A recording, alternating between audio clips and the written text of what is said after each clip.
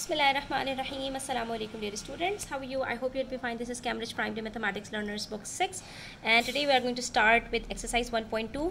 Uh, since we are done with the place value of decimal numbers, now we are going to learn how to round up the decimal numbers okay? So it's very simple very easy. Let's start with exercise 1.2 where we are going to learn how to um, round off any of the decimal place given okay? So in question number one it says round these decimals to the nearest whole number what does it mean? It means if we have to round the numbers to the nearest whole number, in all these numbers we have to remove the decimal places. Whole number means there is no decimal out there. So we have to keep the whole number as it is. That is the last unit digit would remain on its place and we have to remove all the decimal places. But there's one more thing that we have to account for that we have to look for the digit right after the decimal uh, whole number what is the first digit after the whole number?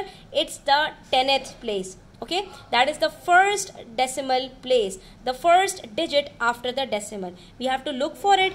If it is a special digit then we will add 1 into the whole number. If it's not a special digit then the whole number would remain the same. How? Let me show you.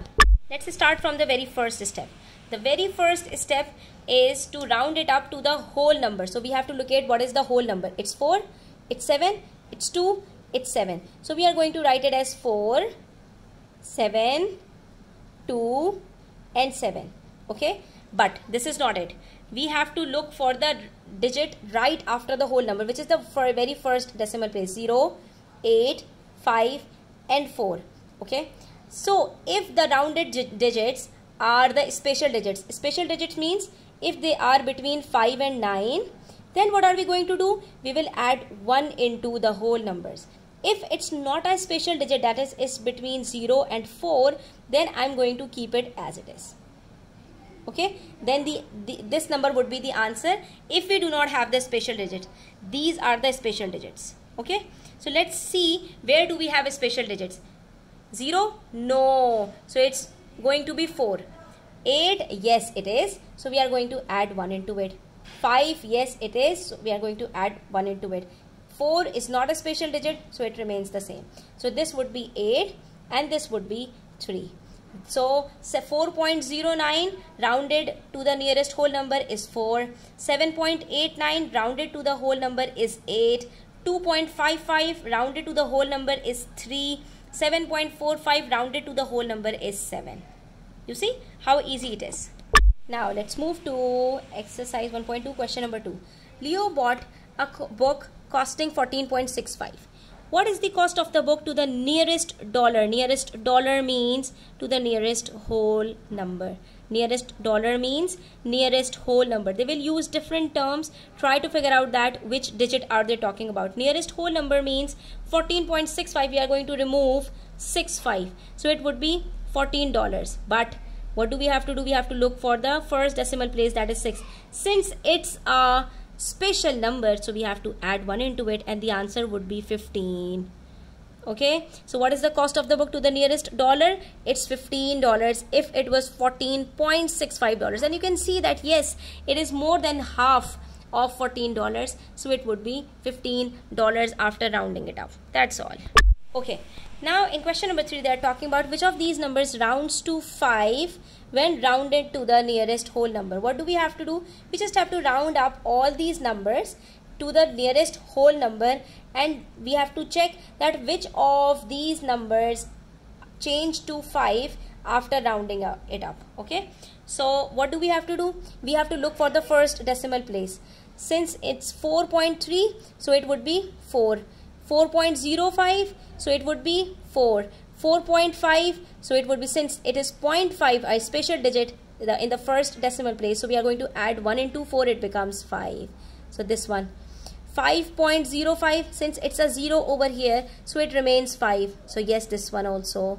Then 4.55 again this is 5 so when we are going to round it up it becomes 5 5.35 again this is 0.3 so it's not a special digit it would remain 5 as it is. So again this is also 5 after after rounding it up.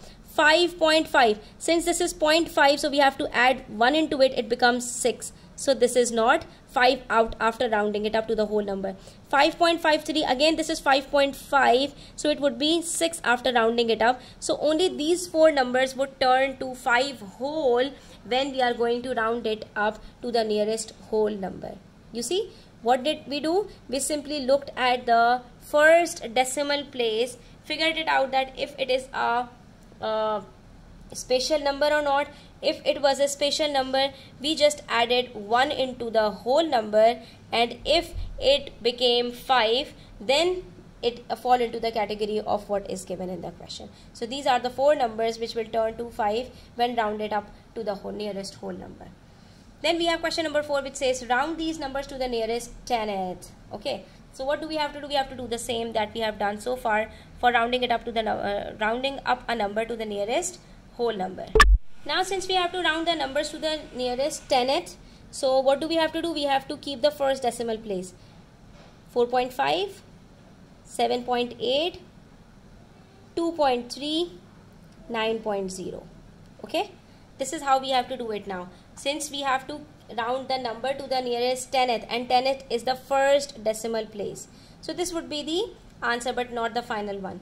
Now what do we have to do? We have to look for the hundredth digit and figure out if it's a, special digit or not. Okay. Earlier when we will we were rounding up the number to the nearest whole number we were looking for the 10th digit. Now since we have to round up the 10th digit so we will look for the 100th digit. Since it is 2, 1, 5 and 7. 2 and 1 are not special digits but 5 and 7 are. So what are we going to do? We will add 1 into 0.3 that is we are going to add 0.1 0.1 okay? What does it mean? We just have to add 1 into the last ever digit. So that is 3 and since it's 10th so we are going to add 0.1 and we are going to get 2.4 and here we are going to get 9.1 but here they will remain the same. 4.5 7.8 2.4 9.1 basically what are we doing? We are simply adding 1 into the last ever digit. 3 plus 1 is 4 so it becomes 2.4 uh, 0 plus 1 is 1 so it becomes 9.1 that's all now let's do the same thing in question number 5 because they say which of these numbers rounds to 7.5 when rounded to the nearest tenth. So we have to do the same that we have done in question number 4 and then we have to check that which of the uh, numbers are changing to 7.5 and which of them are not.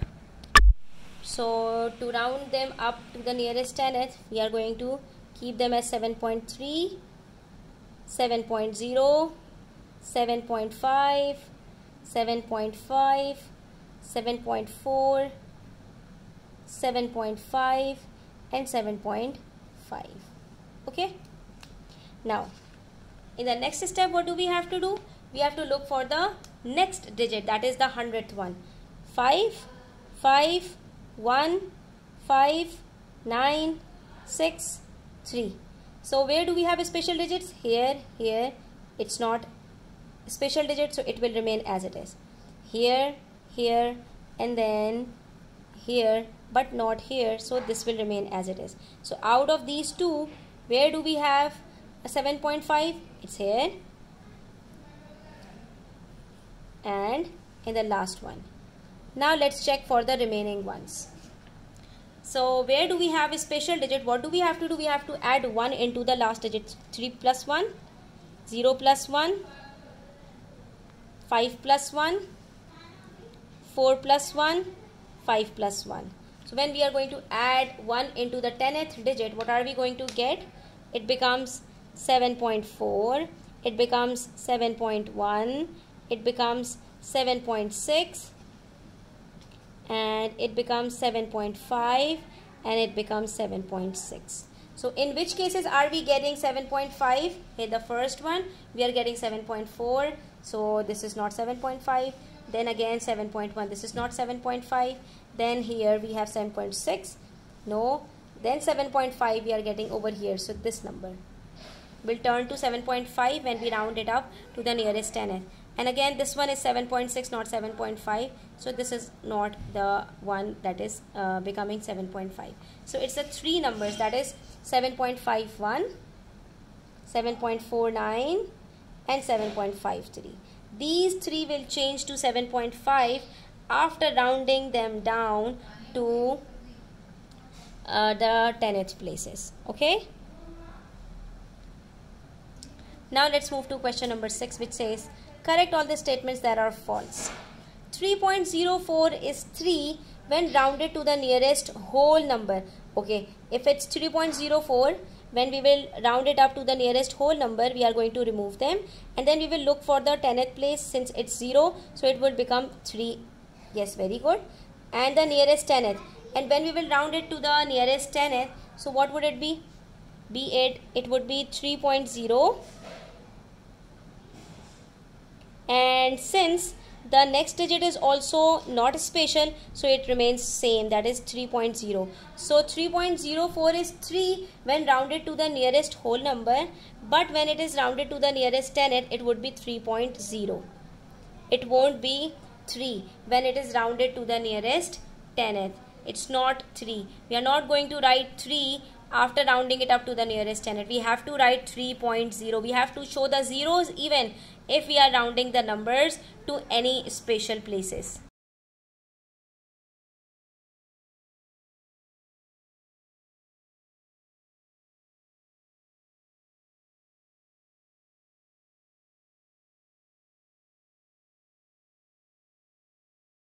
To the nearest whole number? Yes correct because we have 0 at the 10th place so it would remain 5 as the whole number and 5.0 when rounded to the nearest 10th and yes of course it would be 5.0 because the 100 digit is also not a special number so it would remain 5.0 this is absolutely true okay? Then the part C 6.95 is 7 when rounded to the nearest whole number. So it would be 6 we will remove the decimal places and we will look for the 10th place which is 9 and since it's a special number so we will add 1 into it and it becomes 7 yes correct. When rounded to the nearest whole number. And 6.9 when rounded to the nearest 10th when we will round it to the nearest 10th so it would be 6.9 and then we will look for the 100 digit. Since it's 5 over here so we have to add 1 into 9 and then it would become 6.9 plus 1 is equals to 7.0 so it would be 7.0 to the nearest 10th when rounded to the nearest 10th not 6.9 so half part is correct but half of the other half is not correct. So it would be 6.95 is 7 when rounded to the nearest whole number and 7.0 when rounded to the nearest 10th is the correct statement. Okay? Now in question number 7 what do we have to do there? Saying uh, round these measures to the nearest 10th okay? So since we have to round these to the nearest 10th so so the first one would be to the nearest 10th is 55.5 the second one is 12.2 and the third one is 34.4 now we will have to check for the 100 digit. It is 5 so we have to add 1 into it. It is 2 so we it will remain as it is. It is 5 again we have to add 1 into it. So it turned out to be 55.6 and it will become 34.5 so the first one would be 55.6 liters. Second one is 12.2 meters 35.5 kilograms. When rounded to the nearest tenth now, the next question is very interesting. Choose the smallest number from this list that rounds to 1. Okay, so we have to figure out that which of them is the smallest and uh, which of them is the greatest. So, if we look at these numbers, we have to, what do we have to do to compare them? Always remember when we have to compare the whole numbers, there must be an equal number of decimal places. Here we have two decimal places, here we have two decimal places, here we have only one, so we will add a 0 over here. Here we have two decimal places, here we have one, so we will add a 0 to make two decimal places. Here we have two decimal places and here we have only one decimal place. So all of these numbers are greater than 0 because it is whole 0 and they are having some decimal. Even if they are 0, so they have some decimal place. So all of them is uh, greater than 0. Now we have to choose the smallest number from this list that rounds to 1. Okay, so first of all we have to round the, these numbers to the nearest whole number. First of all, let us round all these numbers. So since we have to round them up to the nearest whole number, so it becomes 0, this is also 0, this is 1 this is 1 this is 0 this is 1 now what do we have to do next we have to check for the first decimal place. Is it a special number or not? So it is a special number it is a special it is a special it's not. So let's just leave it. This is a special number and it's not. Okay? So in these since all of them are special numbers so we are going to add 1 into it add 1 into it add 1 into it and add 1 into it. So it becomes 1 1 2 1 as it is 1 and 1 okay? Acha if we look at 2 so since it's not 1 anymore so we are not going to take this one. Now let's talk about the remaining ones. When we talk about the remaining ones we are having 0 0.55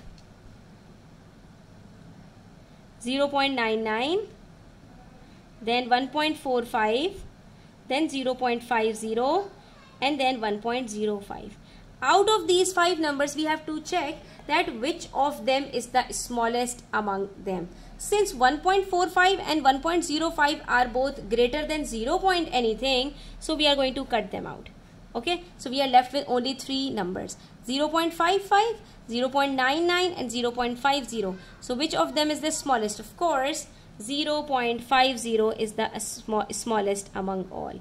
It means when we will round up 0.50 to the nearest whole number, we will get 1. So this is the correct answer. Because 0.55 and 0.99 are greater than 0.50. So they are not the smallest one. And 1.45 and 1.05, although they turn to 1, but they are greater than 1. So they couldn't be the uh, right answer. And if we talk about 1.90 so it turned out to be 2 when rounded up to the whole number.